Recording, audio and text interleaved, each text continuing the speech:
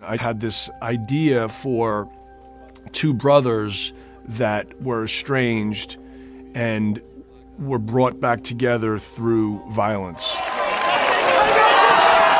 I made Miracle, I had said to the studio, we need to find hockey players and I'm going to teach them how to act because I'm never going to get actors to play hockey the way I need them to play hockey. Warrior, there's more that happens outside the cage than in the cage. Dramatically, emotionally, the complexity of the characters is such that I needed actors, which is even more difficult because now you have to have actors who you have to teach how to fight.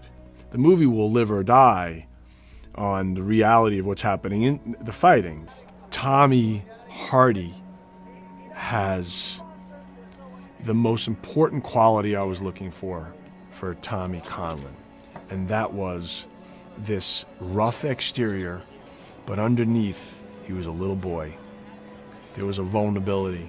The initial fear was the physicality as well of being an MMA fighter, um, which I have no previous experience at all. Not only is this man a prolific mixed martial arts fighter, but he's also from a very all-American working class, you know, blue-collar territory.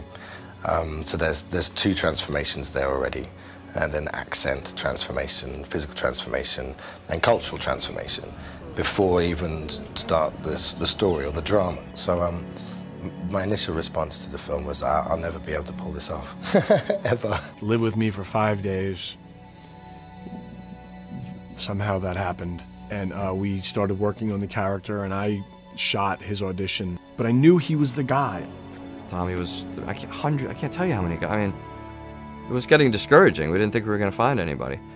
And then the other part, Brendan, we, we saw a million people again. Uh, again, can you you know you needed a guy you could buy as a family man, and then also as a guy who's ultimately going to be the best fighter in the world. You know how hard that is to buy a guy who you know can fight like GSP, but he also you, you believe him in a classroom. You believe him with his children. That's an incredibly nuanced role. Edgerton kills it. But Joel also has a rough side.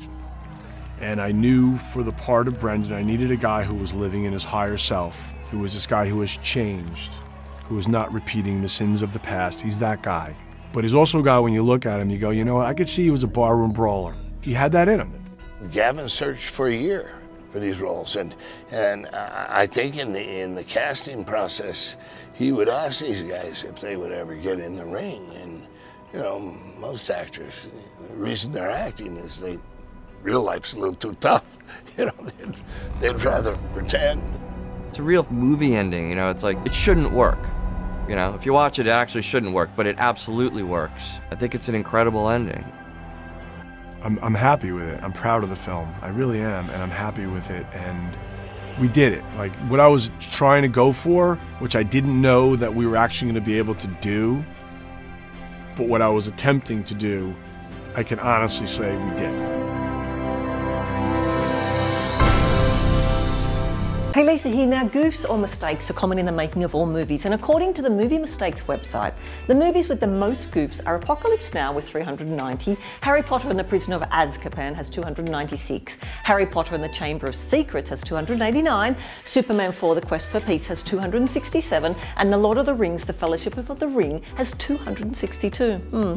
Now, do you like my t shirt? You can get one for yourself in the link in the description.